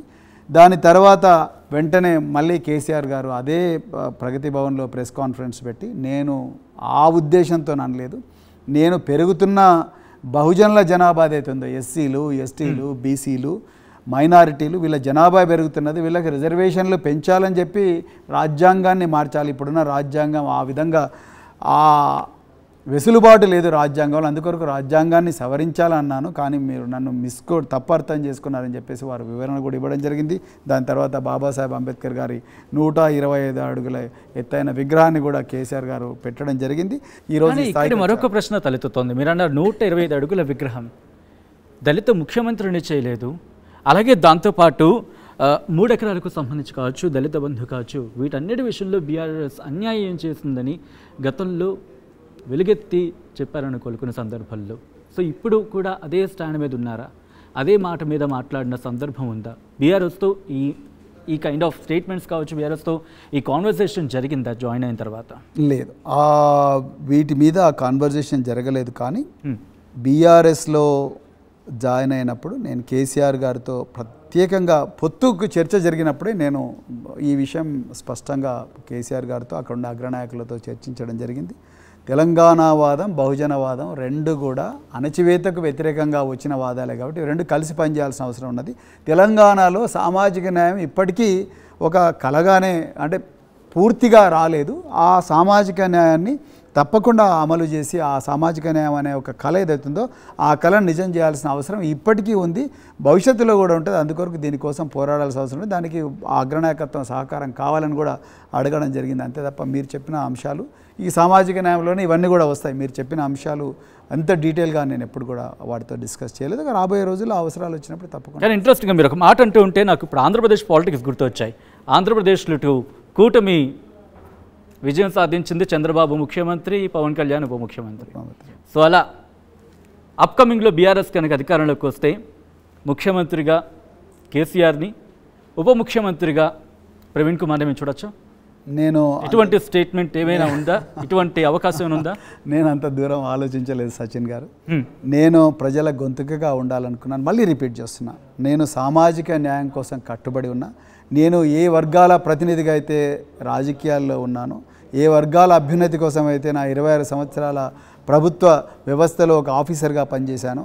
ఏ వర్గాల కోసం అయితే రాజకీయాల్లోకి వచ్చానో ఆ వర్గాల అభ్యున్నతి జరిగితే చాలు. నేను ఉప ముఖ్యమంత్రో లేకపోతే ఇంకో మంత్రో అవ్వాలనే ఒక గొప్ప కాంక్ష నాకేం లేదండి. కానీ నేను అధికార రేపు పొద్దున బీఆర్ఎస్ పార్టీ తప్పకుండా అధికారంలోకి వస్తే అధికారంలోకి వచ్చిన తర్వాత తప్పకుండా ఈ వర్గాలకు ప్రయోజనం కలిగే విధంగా నేను బీఆర్ఎస్ బీఆర్ఎస్లో ఉండే నాయకత్వాన్ని ప్రభావితం చేయగలుగుతానని ఒక నమ్మకంతోనే నేను ఇక్కడికి వచ్చాను. రైట్ ప్రసాద్. సార్ మీరు ఇందాక అన్నారు ముప్పై తొమ్మిది మంది ఎమ్మెల్యేలు ఉన్నారని. కానీ ఇరవై నాలుగు మంది ఎమ్మెల్యేలు రెడీగా కాంగ్రెస్లో చేరేందుకు సిద్ధంగా ఉన్నారు. ఆ లిస్టు మీకు తెలుసు మొత్తం ప్రపంచానికి కూడా తెలుసు. ఇప్పుడు మిగిలేదు పన్నెండు మందే కదా. ఎవరన్నారు అసలు ఆ ఇరవై నాలుగు మంది కాంగ్రెస్ చేరడానికి సిద్ధంగా ఉన్నారని ఎక్కడుంది ఆ లిస్టు? ఎవరన్నారు? ఇదంతా కూడా ఈరోజు ఒక జాతీయ వార్తా పత్రిక కూడా ఇదే అంశాన్ని ప్రస్తావించింది. If I want if you want I just show that కనీసం పన్నెండు మందికి సంబంధించి ఏ ఏ స్థానాల నుంచి కూడా చెబుతోంది. అంటే క్యాలిక్యులేషన్ చేయలేకపోతుంది. ఎందుకంటే ముగ్గురు ఆల్రెడీ మీ పార్టీ నుంచి వెళ్ళిపోయినప్పుడు ఆ ఎస్టిమేషన్ చేయలేకపోయిన మాట వినిపిస్తోంది. అంటే బీఆర్ఎస్ అంచనా వెళ్ళిపోతుందా నిమిషం. ప్రసాద్ గారు బీఆర్ఎస్ పార్టీకి అంటే మొట్టమొదట ఆ వార్త నిరాధారణమైన నిరాధారమైనదని నేను చెప్పాలనుకుంటున్నా మొట్టమొదట. రెండవది అధికారంలో ఉండే కాంగ్రెస్ పార్టీ కేంద్రంలో అధికారంలో ఉండే బీజేపీ ఈ రెండిటికి కూడా బీఆర్ఎస్ అనేది ఒక అడ్డుకట్టగా వాళ్ళు భావిస్తున్నారు. సో అందుకొరకే బీఆర్ఎస్ పార్టీ మీద ఎన్నో అపవాదులు వేస్తున్నారు ఫేక్ న్యూస్ ప్రచారం చేస్తున్నారు రూమర్స్ ప్రచారం చేస్తున్నారు వీటన్నిటికి కూడా బీఆర్ఎస్ పార్టీ భయపడదు. అదేవిధంగా ఈ ఎమ్మెల్యేలు ఎవరో స్వలాభం కోసం లేకపోతే బలహీనతలు పెట్టుకునో లేకపోతే ఇంకేవో కారణాలతో నీ ఎమ్మెల్యేలు పోరు అని నేను అనుకుంటున్నా పోతే కూడా బీఆర్ఎస్ పార్టీకి వచ్చే నష్టం లేదు. ఎందుకు అంటే బీఆర్ఎస్ పార్టీ ప్రస్థానం చూడండి మీరు. వాళ్ళు రెండు వేల నాలుగులో దాదాపుగా ఇరవై ఐదు మంది ఎమ్మెల్యేలు ఆ రోజు రాజశేఖర్ రెడ్డి గారు ఆపరేషన్ ఆకర్షి పెట్టి ఆయన కొంతమంది ఎమ్మెల్యేలను గుంజుకున్నాడు ఒక్కొక్కరికి అది చేసి ఇది చేసి. కానీ ఏమైంది మరి? BRS party ఆగిపోయిందా? తెలంగాణ ప్రస్థానం తెలంగాణ పోరాటం ఆగిపోయిందా? రెండు వేల తొమ్మిదిలో బీఆర్ఎస్ పార్టీకి తక్కువ సీట్లు వచ్చినాయి. మరి అంత అంత మాత్రాన తెలంగాణలో మరి తెలంగాణ ఆవిర్భావం ఆగిపోయిందా? సో అంటే నేను ఏమంటున్నానంటే ఈ అధికారం కోసం పవర్ పాలిటిక్స్కి అట్రాక్ట్ అయ్యి మా ఆస్తులు చక్కబెట్టుకోవాలి లేకపోతే మేము బాగుండాలి అన్న స్వార్థ చింతనతో పోయే వాళ్ళ వల్ల పెద్ద నష్టం పార్టీకి ఉండదండి. ఈ పార్టీ వెనక లక్షలాది మంది ప్రజలు ఉన్నారు అంతే గొప్పగా ఈ పార్టీకి ఒక లెగసీ ఉన్నది. ఆ లెగసీని ఎవరు కూడా చెరిపారు గొప్ప చరిత్ర ఉన్నది. తెలంగాణ తీసుకొచ్చిన చరిత్ర ఈ పార్టీకి ఉన్నది. తెలంగాణకు ఒక బలమైన పునాది అది నీటిపారుదల రంగం కానీ తాగునీటి రంగం కానీ విద్యారంగం కానీ లేకపోతే రైతుల వ్యవసాయ రంగం కానీ వీటన్నిటిలో కూడా తెలంగాణకు ఒక బలమైన పునాది మున్సిపల్ రంగం కానీ పట్టణాభివృద్ధి రంగం కానీ ఈ విధంగా ఏ రంగం తీసుకున్నా ఆ రంగంలో ఒక బలమైన పునాది వేసిన పార్టీ బీఆర్ఎస్. ఈ నాకు తెలిసినంత వరకు అది ఫేక్ న్యూస్ అనుకుంటున్నా. అది ఫేక్ న్యూస్ కాకపోయినా కూడా పెద్దగా నష్టం లేదన్నది నా పర్సనల్ ఒపీనియన్. కాంగ్రెస్ పార్టీ అధికారంలో వచ్చినప్పటి నుంచి కూడా ఇటు బీజేపీ నేతలు అలాగే ఇటు బీఆర్ఎస్ నేతలు కూడా ఇది మునిగిపోయే పడవ. ఆరు నెలల్లో ప్రభుత్వం కూలిపోతుందన్నారు. ఆరు నెలల దగ్గరకు వస్తుంది. ఏమైనా అటువంటి అవకాశాలు ఉన్నాయంటారు? కాంగ్రెస్ పార్టీ వాళ్ళలో ఎవరు ఏకనాథ్ షిండే? మాలో ఏక్నాథ్ షిండే ఎవరు అవుతారు మాలో ఎవరు ఇరవై మంది ముప్పై మందిని తీసుకొని శబరిమల అయిపోతారు లేకపోతే గోవా పోతారు? లేకపోతే ఎక్కడ క్యాంపులు పెట్టుకుంటారు? అని రోజు నిద్రలేని రాత్రులు గడుపుతున్నాడు రేవంత్ రెడ్డి లేకపోతే వాళ్ళ అగ్రనాయకులు వాళ్ళ కేంద్ర నాయకులు. సో కాంగ్రెస్ పార్టీ నిజంగా మరి ప్రమాదం అంచున్న పార్టీ కాంగ్రెస్ పార్టీ కూలిపోవడానికి సిద్ధంగా ఉన్న party Congress party BRS party వెనక ప్రజలు ఉండాలి. ప్రజల పార్టీ అండి ఉద్యమ పార్టీ. ఉద్యమ పార్టీకి ఎప్పుడు కూడా చావు ఉండదు. ఉద్యమ పార్టీ? సజీవంగా ఆగస్టు సంక్షోభం ఉందంటారు రేవంత్ సర్కార్కు బరాబర్ ఉన్నది సంక్షోభం. వాళ్ళ దాంట్లో ఎంతమంది ముఖ్యమంత్రి క్యాండిడేట్లే? రేవంత్ రెడ్డి విధి లేక కోమటిరెడ్డి వెంకటరెడ్డి నేననే ముఖ్యమంత్రి క్యాండిడేట్ గారు ముఖ్యమంత్రి పదవికి అర్హుడనే పరిస్థితి రేవంత్ రెడ్డి అనాల్సి వచ్చిందంటే ఆ పార్టీ ఎంత బలహీనంగా ఉందో మీరు అర్థం చేసుకోవచ్చు. ఆ కాంగ్రెస్ పార్టీ అంటేనే కమిషన్లు. అదేవిధంగా బ్రూ ట్యాక్స్ అంటున్నారు ఒకరు. బట్టి ఇంకోటి రేవంత్ ఇంకోటి ఉత్తమ్. అట్లా ఎవరికి వీలైనంత వాళ్ళు కాంట్రాక్టర్ల మీద ట్యాక్సులు వేస్తూ అదేవిధంగా వాళ్ళ ఆదాయాలు పెంచుకుంటూ ప్రజల ఆదాయానికి గండి కొడుతూ బతుకుతున్న పార్టీ అలా కాంగ్రెస్ పార్టీ ఒక రాష్ట్రం కోసం ఒక స్పష్టమైన ప్రణాళిక ఒక రోడ్ మ్యాప్. రెండు వేల ఇరవై ఎనిమిది రెండు వేల ముప్పై నాటికి తెలంగాణ ఈ విధంగా ఉండాలి తెలంగాణలో విద్యారంగం ఈ విధంగా ఉండాలి అదేవిధంగా ఉపాధ్యాయ రంగం ఈ విధంగా ఉండాలి నిరుద్యోగులు ఈ విధంగా బాగుపడాలి తర్వాత అదేవిధంగా వ్యవసాయ రంగం ఈ విధంగా ఉండాలని ఒక స్పష్టమైన ప్రణాళిక లేని పార్టీ కాంగ్రెస్ పార్టీ అండి. బీజేపీ కూడా అంతే వాళ్ళకు ఒక ప్రణాళిక లేదు. తెలంగాణ భవిష్యత్తు గురించి తెలంగాణలో ఉండే అన్ని వర్గాల ప్రజలు రెండు వేల యాభైలో కూడా ఏ విధంగా ఉండాలా అన్న ఒక ప్రణాళిక ఉన్న పార్టీ కేవలం బీఆర్ఎస్. కాళేశ్వరం కేసు గొర్రెల పంపిణీ కేసు ఫోన్ ట్యాపింగ్. ఈరోజు మళ్ళీ ఆరు వేల కోట్ల విద్యుత్ కొనుగోలుకు సంబంధించినటువంటి కుంభకోణం. ఈ అన్ని కేసుల్లో మీ అగ్రనాయకులందరూ కూడా జైలుకి వెళ్ళే అవకాశం ఉందా? చాలా మంచి ప్రశ్న ధన్యవాదాలు ఈ ప్రశ్న అడిగినందుకు. తెలంగాణ ప్రజలకు నిజాలు తెలవాల్సిన అవసరం ఉన్నది. నేను మళ్ళీ రిపీట్ చేస్తున్నాండి వీళ్ళు రోజు పేపర్లల్లా న్యూస్లల్లా విపరీతంగా లీకులు చేస్తూ ఏం చెప్తున్నారు? ఆ కుంభకోణం ఈ కుంభకోణం అంటున్నారు. కుంభకోణం అయితే మరి కేసు పెట్టవయ్యా. కుంభకోణం అయితే తీసుకురా ఆధారాలు ఏవో ప్రజల ముందర పెట్టు. కుంభకోణం అన్నప్పుడు ఆధారాలు ఉండాలి నీ దగ్గర. ఆధారాలు ఉంటే అవి ప్రజల ముందర పెట్టాలి. దాని మీద చర్చ జరగాలి. చర్చ జరగకుండా ఊకే రోజు లీకులు ఇవ్వడం. ప్రతిరోజు కూడా ఇదే లీకులు లీకులు లీకులు ఇచ్చుకుంటూ ఆనాటి అధికార పార్టీ అయిన బీఆర్ఎస్ను దాని నాయకత్వాన్ని ప్ర మరి ముఖ్యంగా కేసీఆర్ గారిని కేసీఆర్ గారి కుటుంబాన్ని లేకపోతే కేసీఆర్ గారి మంత్రివర్గంలో పనిచేసిన మంత్రుల మీద విపరీతంగా దుమ్మెత్తిపోయడం తప్ప వీళ్ళు చేస్తున్న పాలనే ఉందండి నాకు అర్థం కాదు. మీరు ఒకసారి ఆలోచించండి. శాతవాహనులు మూడవ శతాబ్దం క్రీస్తుపూర్వం మూడవ శతాబ్దంలో ఈ తెలుగు రాష్ట్రాలను పరిపాలించారు దాని తర్వాత వచ్చిన వాళ్ళు చాళుక్యులు. చాళుక్యులు శాతవాన్ల మీద ఇట్లనే అలిగేషన్ చేసిండ్రా. అరే మా మా శాసనసభాపక్ష నాయకులు హరీష్ రావు గారు కేసీఆర్ గారు వీళ్ళు అసెంబ్లీ ఫ్లోర్ మీద చెప్పిండ్రు కాదండి. మీకేమైనా ఆధారం ఉంటే అసెంబ్లీలో పెట్టండి. చర్చిద్దాం. తీసుకురండి చర్చిద్దాం దాని మీద డిబేట్ చేద్దాం అసెంబ్లీ ఫ్లోర్ మీద డిబేట్ చేద్దాం అంటున్నారు. ఎందుకు రేవంత్ రెడ్డి గారు భయపడుతున్నారు అసెంబ్లీ మీదకి డాక్యుమెంట్స్ అని తీసుకురావడం కోసం? మీ పార్టీ అధ్యక్షుడు కేసీఆర్ వస్తే అవన్నీ చూపిస్తానంటున్నాడు రేవంత్ ఎందుకండి? ఇప్పుడు చెప్పించామనండి కేసీఆర్ గారు ఎందుకండి? అక్కడ మంత్రులుగా చేసిన వాళ్ళు ఉన్నారు. జగదీష్ రెడ్డి గారు విద్యుత్ శాఖ మంత్రిగా చేసిండ్రు నీటిపారుదల శాఖ మంత్రిగా హరీష్ రావు గారు చేశారు పట్టణాభివృద్ధి శాఖ మంత్రిగా కేటీఆర్ గారు చేశారు. మీరు పెట్టండి show the documents place them on the floor of assembly so that everybody can discuss ఎందుకు మీరు చెప్పడం లేదు? ఎంతసేపు ఆయన జస్టిస్ నరసింహారెడ్డి గారిని ఒక కమిషను పీసీ ఘోష్ ఇంకో కమిషను ఇంకో కమిషన్ ఇంకో కమిషన్ కమిషన్లు పెట్టి కాలయాపన చేయడం అసలు మీకు అధికారం ఇచ్చింది ఎందుకోసం? మీరు ఆరు గ్యారంటీలు ఇచ్చిండ్రు. ఆరు గ్యారంటీలు అమలు చేయండి. ఆరు గ్యారంటీలు అమలు చేయండి. మీరు ఎన్నో విద్యార్థులకు ఒక్కొక్కరికి ఐదు లక్షలు ఇస్తున్నారు. ఇచ్చిండ్రా? రెండు వందల యూనిట్లు ఫ్రీగా ఇస్తామన్నారు ఇచ్చిండ్రా? అదేవిధంగా మీరు మహిళలకు రెండు వేల ఐదు వందల రూపాయలు ఇస్తామన్నారు. ఇచ్చిండ్రా? కాంగ్రెస్ వాళ్ళు ఇవి అన్నీ రైతులకు మరి పదిహేను వందల పదిహేను వేల రూపాయలు కౌలు రైతులకు ఇస్తామన్నారు. ఇచ్చిండ్రా? ఇవన్నీ చేయడం ఆపేసి ఎంతసేపు కమిషన్లు కాలయాపన లేకపోతే ట్యాపింగ్ అంటారు ఒకసారి కుంభకోణం అంటారు ఆ కుంభకోణం అంటారు. మరి ఏమనుంటే చూపించండి కదా. Put them on the floor of assembly so that entire assembly can discuss on that అది దమ్ము లేదు. ఎంతసేపు పేపర్లను అడ్డం పెట్టుకొని వాటికి లీకులు ఇవ్వడం రోజు బదనాం చేయడం. ఇది నేను చెప్తున్న రేవంత్ రెడ్డి గారికి పరిపాలన చేయడం రాదు అని చాలా క్లియర్గా అర్థమైపోయింది. పరిపాలన చేయొచ్చినోడైతే ఏం చేస్తాడంటే రీసెంట్ బదులు అమ్మ నాకు ఈ తెలంగాణ ప్రజలు ఒక గొప్ప అవకాశం ఇచ్చిండ్రు. కేసీఆర్ గారి కన్నా నాకు ఇంకా మంచి పేరు రావాలని ఆ స్కీమ్లను మరింత పదును పెట్టి ఇంకా విశాలమైన ప్రజానీకానికి దాని ఫలాలు అందేటట్టుగా చూస్తారు తప్ప ఈ విధంగా కమిషన్లు పెట్టి అది పెట్టి ఏందండి? రోజు ఆయన పొద్దున్న లేచినప్పటి నుంచి ఇదే పని. ఆ లీకు ఈ లీకు ఇక్కడ జరిగింది ఇక్కడ జరిగింది ఈ కుంభకోణం జరిగింది. మరి నువ్వు పరిపాలన ఎక్కడ చేస్తున్నట్టు? ప్రజలు నీకు ఇవి చేయడం కోసం ఇచ్చిండ్రా? ప్రజలు ఆరు గ్యారంటీలు అమలు చేయమని ఇచ్చిండ్రు. ప్రజలు అదే విధంగా మీరు కేసీఆర్ బాగా చేసిండు అంతకన్నా ఇంకా బాగా చేయాలని ఇచ్చిండ్రు. కానీ మరి చేస్తున్నది ఏంటి ఆ లీకు ఈ లీక. మేము ఉంటే చూపించండి ఎందుకు చూపించడం లేదు? ఆ నెక్స్ట్ నరసింహారెడ్డిని అడ్డం పెట్టుకొని లేకపోతే పీసీ ఘోష్ని అడ్డం పెట్టుకొని ఇంకొకరిని అడ్డం పెట్టుకొని రోజు ఇదే చేస్తున్నారు. మరి పరిపాలన లేకుండా ఏడు నెలలైంది ఇప్పుడు అధికారంలోకి వచ్చి. ఏం చేసిండ్రు మీరు ఏడు నెలల్లో? ఏం చేయలేదు. అందుకొరకు వీళ్ళకి ఆ అర్హత లేదండి. ఇంతసేపు ఈ బదనాం చేసే రాజకీయాలను మానుకోవాలి. మెడకాయ మీద తలకాయ ఉన్న ఏ పొలిటీషియన్ కూడా. కేసీఆర్ గారు రెండు వేల పద్నాలుగులో చీఫ్ మినిస్టర్గా అయినప్పుడు ఆనాడు తెలంగాణ ఘోరంగా చీకట్లో ఉన్నది. తెలంగాణలో కరెంటు కోతలు అదేవిధంగా జనరేటర్లు తెలంగాణలో ఫ్లోరైడ్ చావులు. తాగునీటి కోసం నేను మునుగోడులో చూసిన మొత్తం వంకర టింకర కాళ్ళు చనిపోవడం చిన్నగున్నప్పుడే చనిపోవడం చనిపోతున్నామని తెలిసి కూడా బతకడం అలాంటి పరిస్థితి నుండి మరి పోవాలని చెప్పి మిషన్ భగీరథ తీసుకొచ్చారు కాళేశ్వరం తీసుకొచ్చారు. అదేవిధంగా గురుకుల పాఠశాలలు పన్నెండవ తరగతి అయిన వెంటనే పిల్లలకు అమ్మాయిలకు అందరికీ పెళ్ళిళ్ళు కావడం తల్లిదండ్రులు విధి లేక చిన్నతనంలో పెళ్ళిళ్ళు చేయడం ఇది ఆగాలని చెప్పేసి వాళ్ళందరికీ వేలాది గురుకుల పాఠశాలలు పెట్టి వాళ్ళకి ఇంగ్లీష్ మీడియం ఇచ్చేయాలి. వాళ్ళందరూ కూడా సాఫ్ట్వేర్ ఇంజనీర్లుగా ఎయిర్ క్రాఫ్ట్ పైలట్స్గా అదేవిధంగా నావల్ కెప్టెన్స్గా మారే ఉందండి. ఇది ఉండాలి కానీ చూపించొద్దంటారా?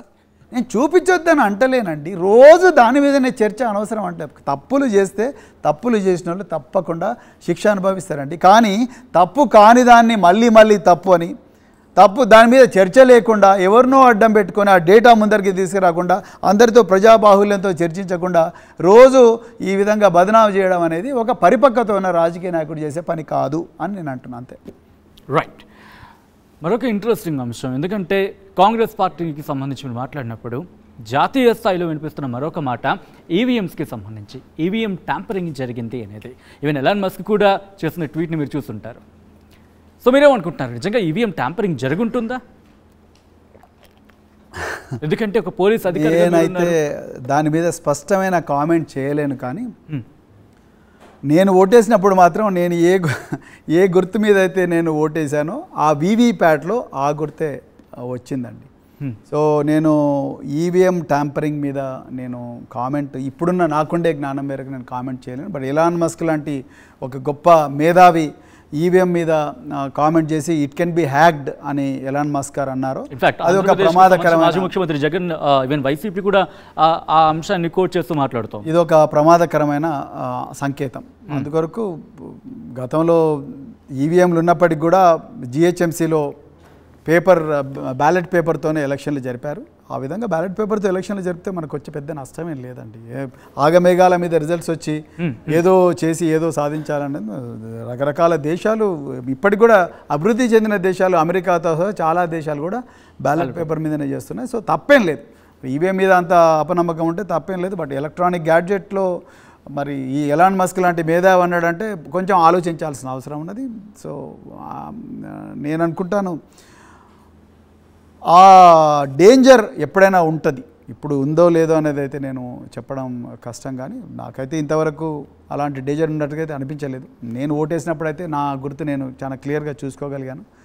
సో నేను ఏ గుర్తుకైతే ఓటేసానో ఆ గుర్తు నేను చాలా క్లియర్గా చూసుకోగలిగాను. సో అందుకొరకు నాకు పెద్దగా అపనమ్మకాలు లేవు. కానీ but this danger is always there so electronic gadget can be hacked అన్నప్పుడు మరి ఈ- ఇప్పుడు టెక్నాలజీ వస్తుంది ఆర్టిఫిషియల్ ఇంటెలిజెన్స్ వస్తుంది సో రోబోటిక్స్ వస్తున్నాయి తర్వాత జనరేటివ్ ఆర్టిఫిషియల్ ఇంటెలిజెన్స్ వస్తుంది. సో వీటి వల్ల చాట్ జీపీటీ యుగంలో బతుకుతున్నాం మనం. సో అందుకొరకు ఆ, వీటి గురించి ఆలోచించాల్సిన అవసరం అవుతుంది ప్రవీణ్ కుమార్ గారు అసెంబ్లీ ఎన్నికల్లోనూ లోక్సభ ఎన్నికల్లోనూ రెండిట్లోనూ ఓడిపోయారు. అసలు నెక్స్ట్ మీ టార్గెట్ ఏంటి? మీరు ఏం చేద్దాం అనుకుంటున్నారు? గెలవడం. ఎక్కడ? ఎవరి? ఏ పార్టీ నుంచి? ఇప్పుడు ఇవే క్వశ్చన్స్ ద టౌన్ అని చెప్పుకోవాలి మీ విషయంలో. ఎక్కడా అని నేను ఇప్పటికే చెప్పలేను కానీ బీఆర్ఎస్ పార్టీ నుంచే గెలుస్తా అనుకుంటున్నాను. గెలుస్తా అన్న హోప్తోనే రాజకీయాల్లోకి వస్తారు. నేను ప్రతిదీ కూడా క్రికెట్ మ్యాచ్లో ఏ టీం పోయినా ఫస్ట్ గెలుస్తామనే పోతారు కానీ ఓడిపోతే మనం చేసేదే ఉండదు. కానీ మళ్ళీ ప్రయత్నం చేస్తాం. అంతే తప్ప ఒక్క ఓటమితోనో కుంగిపోవడమో లేకపోతే గెలుపుతోని పొంగిపోవడం అలాంటి పనులు నేను చేయను. గెలుపు ఓటములు సహజం. అది రాజకీయాలను కొంచెం దగ్గరగా చూసిన వ్యక్తిని కాబట్టి నాకు అంత ఇబ్బంది పడలేదు. నేను అందరిలాగా ఏడవడం కానీ లేకపోతే నిరాశ చెంది కానీ ఇక్కడ క్వశ్చన్ రైజ్ అవుతుంది. ఎందుకంటే మీరు సిర్పూర్ నుంచి పోటీ చేసినప్పుడు బీఎస్పీ నుంచి పోటీ చేశారు. నాగర్ కర్నూలు నుంచి పోటీ చేసినప్పుడు. బీఆర్ఎస్ నుంచి పోటీ చేశారు. అండ్ నెక్స్ట్ ఎక్కడ పోటీ చేస్తారు? ఏ పార్టీ నుంచి? పోటీ కాంగ్రెస్ నుంచా బీజేపీ నుంచా? లేదు బీఆర్ఎస్ నుంచి చేస్తాం తప్పకుండా బీఆర్ఎస్ నుంచే చేస్తాను. నేను ఇంతవరకు ప్రసాద్ గారు అడిగిన ప్రశ్న కానీ కౌశల్య గారు అడిగిన ప్రశ్న కానీ వాటి మీదనే నేను మళ్ళీ చెప్తున్నాను. బీఆర్ఎస్ నుంచే పోటీ చేస్తాను. తప్పకుండా గెలుస్తానే నమ్మకంతోనే నేను పోటీలో ఉంటానని అనుకుంటున్నాను. నాగర్ కర్నూలు నుంచి మీరు పోటీ చేసినప్పుడు బీఆర్ఎస్ ఓట్ పర్సంటేజ్ ఇరవై ఆరు శాతం పడిపోయింది. అంటే ఆ ప్రభావం అది శాతానికి పడిపోయిందా? ఇరవై ఆరు అంటే అంతకు ముందు ఉన్న పర్సంటేజ్ కన్నా ఇరవై ఆరు శాతం పడిపోయింది. అండ్ థర్డ్ పొజిషన్లో ఉంది. సో ఇది బీఆర్ఎస్ పార్టీ మీద వ్యతిరేక వ్యతిరేకత? లేదంటే ప్రవీణ్ గారి మీద ఏదైనా వాళ్ళకి నమ్మకం ప్రవీణ్? ప్రవీణ్ అంటే ఆర్ఎస్ ప్రవీణ్ మీద ఉన్న ఏమైనా- వ్యతిరేకత ఉందా? అంటే మీరు తీసుకున్న నిర్ణయంతో అక్కడ ఏకీభవించలేదా ప్రజలు? అది ఇంపాక్ట్ చూపించిందా? చాలా మంచి ప్రశ్న. మీ ధన్యవాదాలు ఈ ప్రశ్న అడిగేందుకు. ఎందుకంటే తెలంగాణ ప్రజలందరికీ కూడా ఈ విషయం తెలవాల్సిన అవసరం ఉందండి.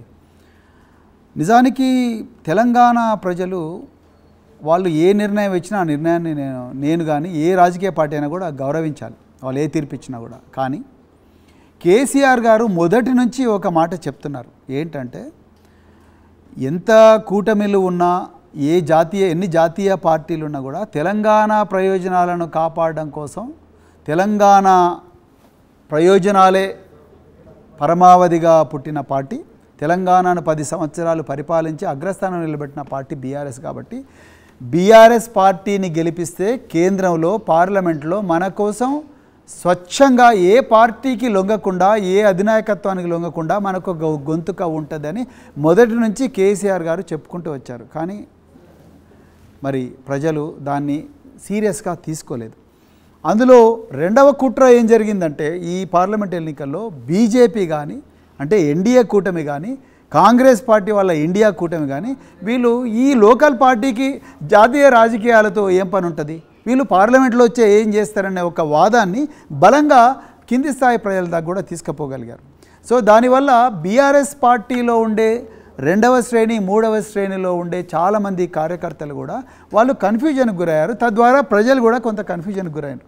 దానివల్లనే కొంత ఇబ్బంది అయింది.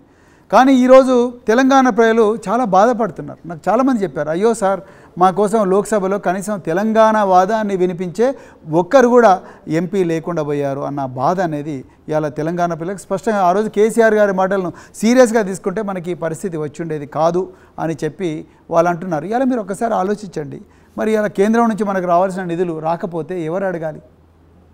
ఎవరు అడగాలి? కాంగ్రెస్ వాళ్ళు అడుగుతారా? బీజేపీ వాళ్ళు అధికారం ఉన్న వాళ్ళు అడుగుతారా? ఎవరు అడగాలి? మళ్ళీ ఎవరు అడగాలి?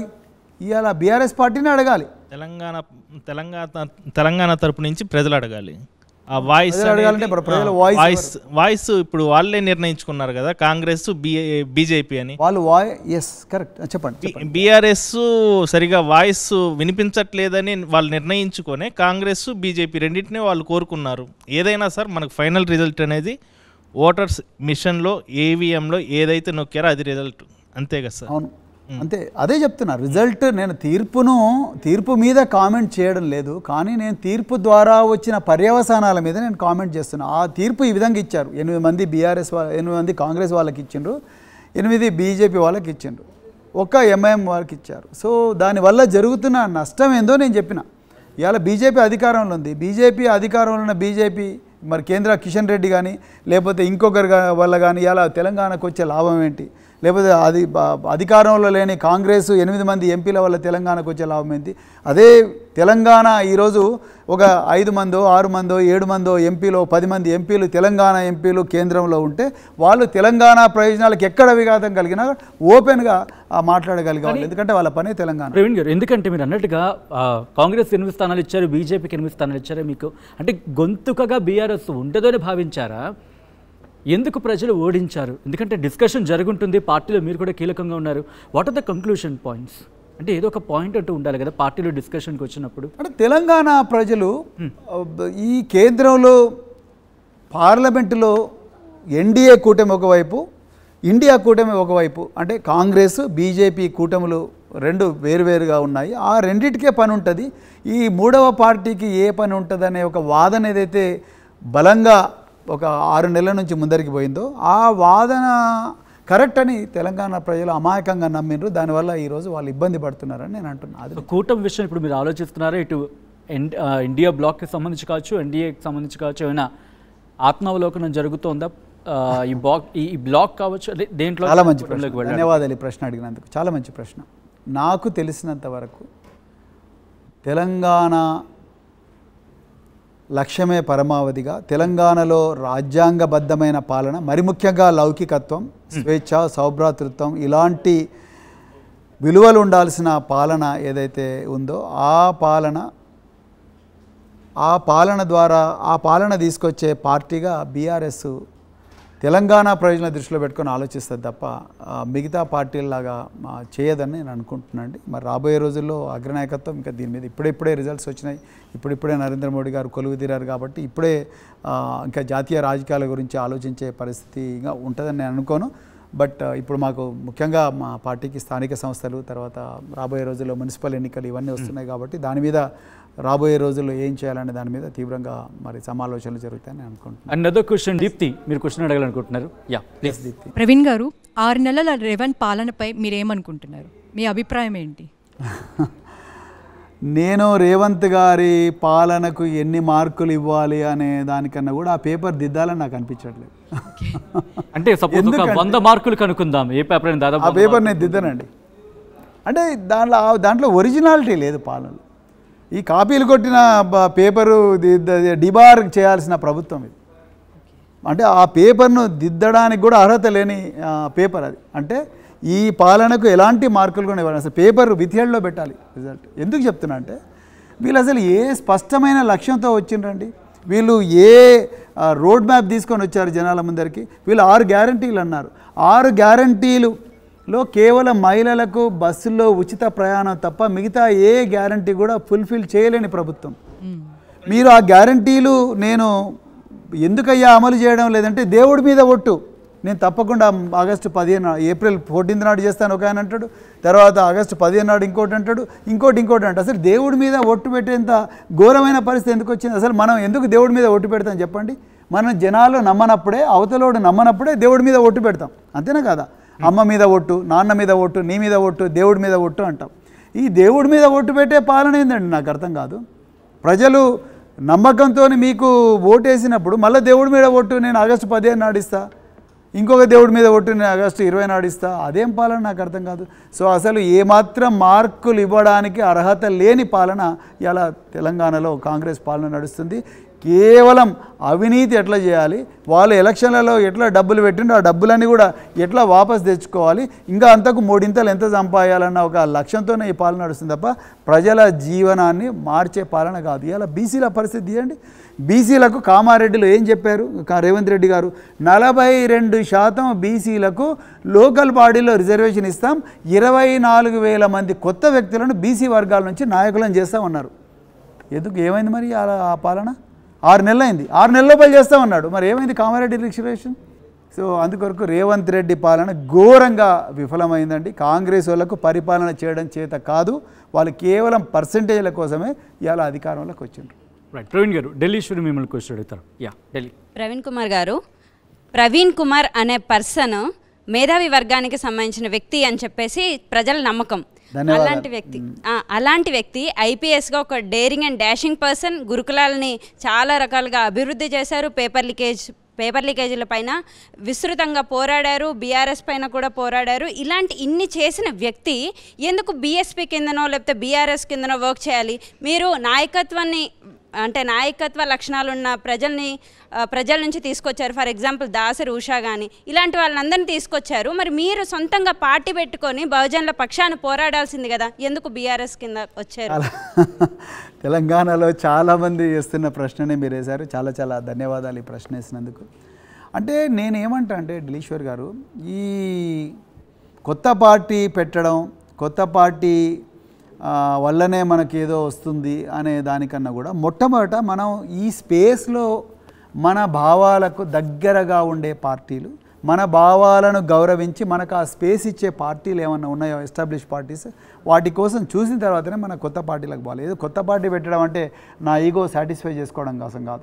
అంటే నేను గొప్ప మేధావిని నేను నమ్మి మిగతా వాళ్ళందరూ కూడా చెవటలని నమ్మి అదేవిధంగా ప్రజలు గొర్రెలను నమ్మి మనం ఒక పార్టీ పెట్టి మనకు రెండు రోజులు అందరూ ఆర్భాటంగా మన దగ్గర జనాలు వస్తారు. దాని తర్వాత సోషల్ మీడియాలో ఒక పది పోస్టులు ఒక ఇరవై రీల్స్ తర్వాత నలభై యూట్యూబ్ ఛానల్స్ పెట్టుకొని ఇక అయిపోయింది నా వెనక అంత జనాలు ఉన్నారని నమ్మి ఆ విధంగా చేయడం కన్నా సమయం వేస్ట్ చేయడం కన్నా మిగతా వాళ్ళ సమయం వేస్ట్ చేయడం కన్నా ముందు ఎస్టాబ్లిష్డ్ పార్టీస్లో నీ భావాలకు దగ్గరగా ఏదైనా పార్టీ ఉందా? అందులో ఏమైనా స్పేస్ దొరుకుతుందా? అది చూసిన తర్వాతనే మీరు కొత్త పార్టీలోకి వెళ్ళాలి. నేను నిజానికి మీరు అన్నది కరెక్ట్. నేను జూలై పంతొమ్మిది నాడు ఉద్యోగానికి రాజీనామా చేసినప్పుడు చాలామంది కూడా సార్ మీరు కొత్త పార్టీ పెట్టండి. పవన్ కళ్యాణ్ గారు పెట్టారు కదా జయప్రకాష్ నారాయణ గారు పెట్టారు కదా జేడి లక్ష్మీనారాయణ గారు కూడా పవన్ కళ్యాణ్తో తిరుగుతున్నారు కదా తర్వాత ఇంకొకరు పెట్టారు కదా ఇంకొకరు పెట్టారు కదా రకరకాల పార్టీ. నేను అన్నాను మొట్టమొదట ఉన్న పార్టీలో ఏదైనా నీ భావాలకు దగ్గరగా ఉన్న పార్టీ ఉందా? ఆ పార్టీ ఆల్రెడీ ఎస్టాబ్లిష్ అయింది వాళ్ళ పార్టీలకు చాలా కార్యకర్తలు ఉన్నారు. కొంతమంది ఎంపీటీసీలు ఉన్నారు సర్పంచ్ జడ్పీటీసీలు ఉన్నారు కాబట్టి ముందు వాళ్ళతో కలిసి పనిచేసి చూద్దాం. సో అని చెప్పి మనం నేను ఆ రోజు బీఎస్పీలో జాయిన్ కావడం జరిగింది. ఈరోజు బీఆర్ఎస్లో కూడా అందుకొరకే అంటే అక్కడ స్పేస్ దొరక్కపోతేనే మనం కొత్త పార్టీ పెట్టాలి. అంతే కొత్త పార్టీ పెట్టి మళ్ళీ ఒక ఇరవై సంవత్సరాలు ప్రస్థానం చేసి దాని తర్వాత అయ్యో ప్రజలు నా వెనక రాలేదు కదా అని చెప్పి బాధపడడం కన్నా సో చాలామంది ఇప్పుడు పవన్ కళ్యాణ్ కొత్త పార్టీ పెట్టిండు కదా ఆయన ఒక పదిహేను సంవత్సరాలతో సక్సెస్ఫుల్ అంటే అసలు ఉన్న పార్టీలను అద్భుతంగా ఆ పార్టీలోకి ఎంటర్ అయ్యి ఆ పార్టీలో నీ భావాలు వాళ్ళకి అర్థం చేయించి వాళ్ళ భావాలు నువ్వు అర్థం చేసుకొని యూ కెన్ ట్రావెల్ ఎందుకు కాకూడదు? మీ ఐడియాలజీకి దగ్గరగా బీఆర్ఎస్ ఉంది అని అన్నారు. కానీ మీ ఐడియాలజీ అనేది బహుజన బహుజన ఐడియాలజీ కదా. ఇది కంప్లీట్గా లెఫ్ట్ వింగ్ పార్టీ ఐడియాలజీ అయితే బీఆర్ఎస్ పార్టీ మీరు చూసుకుంటే డెవలప్మెంట్ ఓరియంటెడ్ అంటే little bit right right wing side ఉంటుంది. మరి ఎలా మీరు ఐడియాలజీకి దగ్గరగా ఉందని అంటున్నారు? మొట్టమొదట డెవలప్మెంట్ రైట్ వింగ్ కాదండి. రైట్ వింగ్ డెవలప్మెంట్ అనేది ఉండనే ఉండదు for your kind information right అడుగు బలహీన వర్గాలకు సంబంధించి అయితే మాత్రం లెఫ్ట్ వింగ్ కదా. కాంగ్రెస్ ఉంది కదా. BRS is a liberal party BRS is a centrist party okay BRS is a constitutional party right so రెండవది ఈ వర్గాలు ఏ వర్గాల అభ్యున్నతి కోసం అయితే మీరు డెవలప్మెంట్ అన్నారు. చాలా సంతోషం. ఈ డెవలప్మెంట్ అనేది బీఆర్ఎస్ లాంటి పార్టీల వల్లనే జరుగుతుంది. మిగతా పార్టీలు కేవలం ఫ్యాసిజాన్ని ముందరికి తీసుకొచ్చి రకరకాల వర్గాల మధ్యలో కొట్లాటలు పెట్టి ప్రజలను పోలరైజ్ చేసి వాళ్ళ అధికారాన్ని దండుకొని ఆ ప్రాంతాన్ని దోపిడీ చేయడం కోసమే మిగతా పార్టీలు వస్తాయి. కానీ బీఆర్ఎస్ అభివృద్ధే పునాదిగా ప్రజల సంక్షేమమే పరమావధిగా ప్రజల లోపల ఒక సమూలమైన మార్పు తీసుకొచ్చి ఈ రాష్ట్రం దేశంలో అగ్రస్థానంలో ఉండాలనే ఉద్దేశంతోనే ఈ బీఆర్ఎస్ పార్టీ వచ్చింది. అందుకొరకు నాకైతే నమ్మకం ఉంది. ఈ ఈ పార్టీ ఎప్పుడు కూడా రైట్ వింగో లేకపోతే ఎక్స్ట్రీమ్ లెఫ్ట్ వింగో పోదు. ఈ పార్టీలో బహుజనవాదానికి ఇంకా స్పేస్ ఉందని నేను నమ్ముతున్నాను. అందుకొరకే నేను ఈ పార్టీలోకి వచ్చాను. రైట్ అరస్ ప్రవీణ్ కుమార్ గారు లాస్ట్ క్వశ్చన్ ఎస్ మీరు ఎంపీగా కంటెస్ట్ చేయబోతున్నారా నెక్స్ట్ ఎమ్మెల్యేగానా ఎంపీ ఎంపీగానా ఎమ్మెల్యేగానా పార్టీ ఏ పోటీ చేయమన్నా ఆ పార్టీకి నేను ఆ పార్టీ ఆ రంగస్థలంలో నేను ఆ రణస్థలంలో నేను ఉంటానండి. సో నెక్స్ట్ వచ్చే ఎలక్షన్లు ఎమ్మెల్యే ఎలక్షన్లు నేను తప్పకుండా ఎమ్మెల్యేగా పోటీ చేద్దాం అనుకుంటున్నాను. సో సిర్పూర్ నుంచే? అది ఇప్పుడే నేను చెప్పాను. Right thank you so much Praveen Kumar garu. ఆ ఆర్టీవీ స్టూడియోకి వచ్చి అన్సన్సార్లో పాల్గొని వాట్స్ యూర్ ఫ్యూచర్ స్టెప్స్ అనే అంశానికి సంబంధించి ఒక మాట చెప్పే ప్రయత్నం చేస్తున్నందుకు అలాగే బీఆర్ఎస్లో మీరు ఎలా ఉండబోతున్న అంశానికి సంబంధించి కూడా క్లారిటీ ఇచ్చే ప్రయత్నం చేసినందుకు once again thank you so. Much ఇది మాజీ ఐపీఎస్ అధికారి బీఆర్ఎస్ నేత BRS Praveen Kumar. Uncensor keep watching and stay tuned మరిన్ని వీడియోస్ కోసం ఛానల్ సబ్స్క్రైబ్ చేయండి. లేటెస్ట్ అప్డేట్స్ కోసం వాట్సాప్ ఛానల్ ఫాలో చేయండి. అండ్ లింక్ డిస్క్రిప్షన్లో ఉంది.